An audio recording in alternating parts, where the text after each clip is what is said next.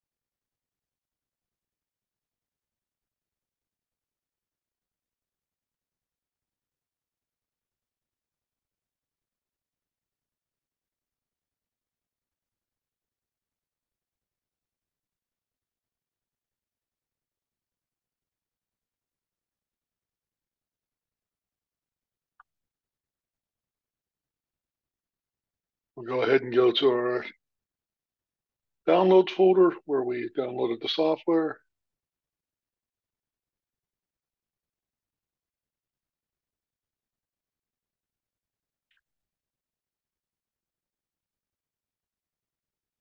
And again, we're going to right click and run as administrator.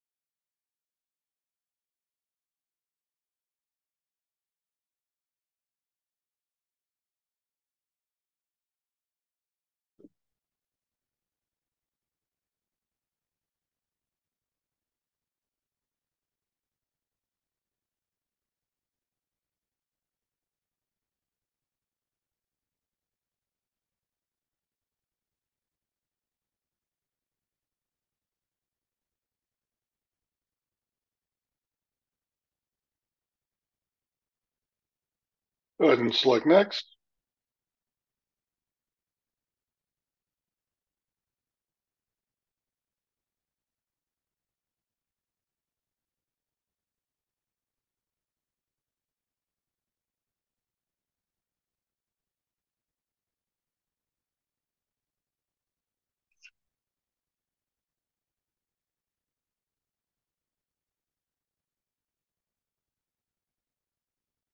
Go ahead and select next.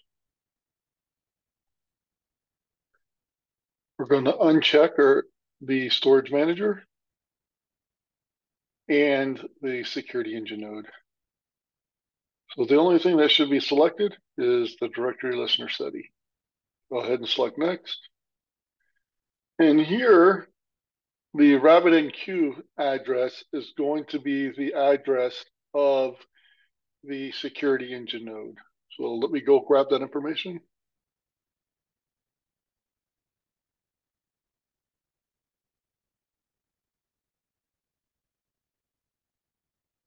And for me, that's going to be the 172 address.